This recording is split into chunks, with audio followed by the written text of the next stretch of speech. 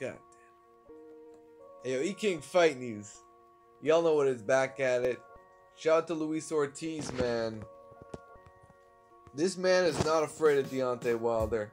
He is looking to pull off an upset. Luis Ortiz is the man on the mission right now. And I expect him to give Wilder his toughest fight to date. And, and I, I think I think this this fight might be it's more difficult of a fight that Deontay Wilder has compared to Anthony Joshua. I would say that as well. I think this is a very difficult fight. And Luis Ortiz, he's that guy that you look at and you know a lot of other heavyweights they, they didn't want to take on that challenge. So respect to Deontay Wilder for taking this fight. And this is Luis Ortiz. He's saying Wilder's all talk. Wilder's just all talking smack, and, and he doesn't want. Not that he doesn't want this work, but he he's not gonna know what way way way he's gonna be feeling after he lands one of these right hands. I'm sure that's what Luis Ortiz is saying. Uh, this is his quote.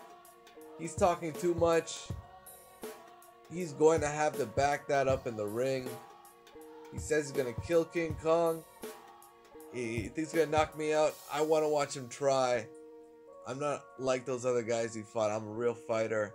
I'm tough with a lot of experience. And, he, I've been fighting since I was 10. That's what Luis Ortiz saying. Um, and he's saying, you know, I, I, Luis Ortiz trying to say he doesn't really trash talk, but but this Wilder fight got trash talk. I'll tell you that much. Um, and you know, it's just respect to his career. Um, yeah, man. Luis Ortiz is a beast, man. The man's a beast. And he also has his own, you know, story from escaping to Cuba. And he made this promise to his family that, you know, you know, fuck, man.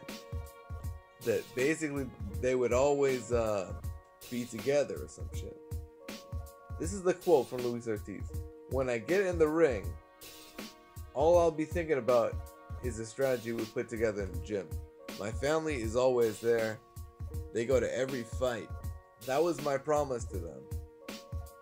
Uh, okay, so his family will be there, and so we can look at them and have that motivation. Um, that you know, that's his family watching that he brought over from Cuba, and you know that that shit is is emotional stuff, man. And Luis Ortiz is channeling that energy to his advantage. So, much respect. I expect Luis Ortiz to give Deontay Wilder his toughest fight. Will he win? That's my question for you guys. So let me know in the comment section below. E King Fight News. Smash like button, subscribe to the channel. You know what it is.